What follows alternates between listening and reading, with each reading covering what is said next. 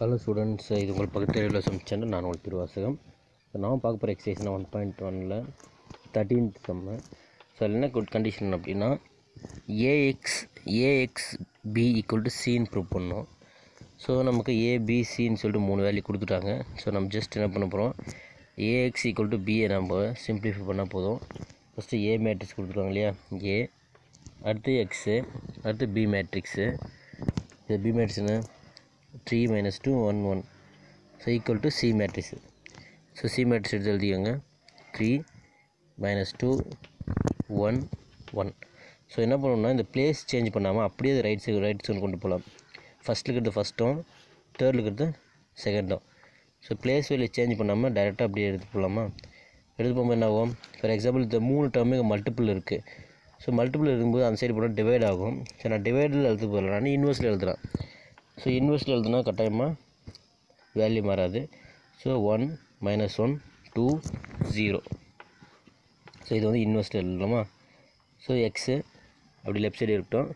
So அடுத்து last டேர்மில் three minus two one is inverse so ரெண்டு டேர்ம் லெஃப்ட் சைடில் மல்டிபிள்லேருந்து ரைட் சைடு கொண்டு போயிருந்தா இன்வெர்ஸில் எழுதியிருக்கேன். ஸோ வேறு எந்த ரூல் கிடையாது. இப்போ ஏ இன்வெர்ஸ் கண்டிஷன் ஸ்ட்ராட்டஜி பண்ணணும் for example one zero minus two ஜீரோன்றது inverse எழுதுனா ஆகும். இது ஜென்ரல் கண்டிஷன் ஏடி மைனஸ் பிசின்னு வரும். ஸோ இப்போ என்ன பண்ணணும்? நம்ம இன்வெர்ஷனில் இருக்கிறதுனால இது அப்படி டேரெக்டாக நம்ம உள்ளே இருக்கிற வேல்யூ வந்து கன்வெர்ட் பண்ண போகிறோம் அந்த வேல்யூ கன்வெர்ட் பண்ண போகிறோம் அப்போது ஏடி மைனஸ் பிசி அதான் அதுக்கு அது அது என்ன வேல்யூ ஏடி மைனஸ் பிசின்றது டிட்டர்மெண்ட் ஏ வேல்யூ அப்போது ஸோ அந்த மேட்ச் டூ நம்ம கிராஸ் பண்ணிட்டு பண்ணும்போது ஜீரோ டூ கிடைக்குதா ஸோ டூ தான் நமக்கு இந்த ஏடிபிசியோட வேல்யூ அட்ஜ அது டிட்டர்மெண்ட் இருக்குது இப்போ இந்த வேல்யூ அட்ஜாயின்ட் வேல்யூ அப்போ அட்ஜாயின்ட் பண்ணும்போது சேம் இப்போ அடுத்து த்ரீ மைனஸ் டூ ஒன் ஒன்னுக்கு டிட்டர்மெண்ட் எடுக்கும்போது ஃபைவ் கிடைக்குது. அதுதான் ஏடி மைனஸ் பிசியோட வேல்யூ ஸோ இப்போ சிம்பிள் நம்ம என்ன பண்ண போகிறோம் இதை இன்வெஸ்டில் இருக்கிறதுனால நம்ம அட்ஜாயின்ட் அட்ஜாயின்ட் எழுதுவோம் இல்லையா? அந்த ஃபார்மேட்டில் மாற்றுவோம் அட்ஜாயின்ட்டு ஒன் பை டிட்டர்மினி அட்ஜாயின்டி ஃபார்மேட்டில் மாற்றுவோம் ஏன்னா இன்வெஸ்ட் ஃபார்முலா இப்போ ஒன் பை டிட்டர்மினிட்டினா டூ இது வந்து அட்ஜாயின்டி அட்ஜாயின்டினா சைட் சைன் பண்ணலாம் சேஞ்ச் பண்ணிக்கலாம்.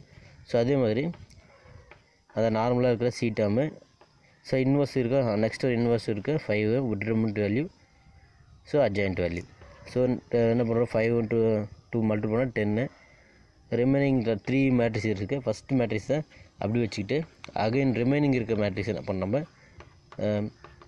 மல்டிபிள் பண்ண போகிறோம் ஸோ த்ரீ மேட்ரிக்ஸஸ் இருக்குது ஸோ ஃபஸ்ட்டு மேட்ரிக்ஸ் அப்படி வச்சுக்கிட்டு செகண்ட் மேட்ரிக்ஸ் தேர்ட் மேட்ரிக்ஸும் மேட்ரிக்ஸ் மல்டிபிகேஷன் சரி நமக்கு தெரியும் ஆல்ரெடி மேட்ரிக்ஸ் மல்டிபிகேஷன் தெரியும். First row first column first row second column அதாவது அதுமாதிரி second row first column second row second column so one minus one two plus three so two minus two so last வந்து two two sir four two three sir six so நான் நார்மலாக கேல்வி value கிடச்சிருக்கு so again என்ன பண்ண போகிறேன் so இது simply பண்ணால் zero five zero ten so மறுபடியும் அகைன் இதை நான் மல்டிபிள் பண்ண போகிறேன் row column multiplication so first row first column multiple பண்ணுறோம் ஸோ ஜீரோ ஜீரோ டென்னு எதுவும் இது? ஃபைவ் ஜீரோ ஓகே ஸோ நார்மலாக இப்போது டென்னு நான் காமனாக இதை வெளியே எடுக்கிறேன் ஸோ டென் காமனாக எழுதிட்டா டென் பை டென் கேன்சல் ஆயிரும் ten by ten so cancel ஆகிட்டு ரிமைனிங் என்ன கிடைக்கும் zero zero zero zero so அப்போ எனக்கு எக்ஸல் என்ன கிடச்சிருக்கு?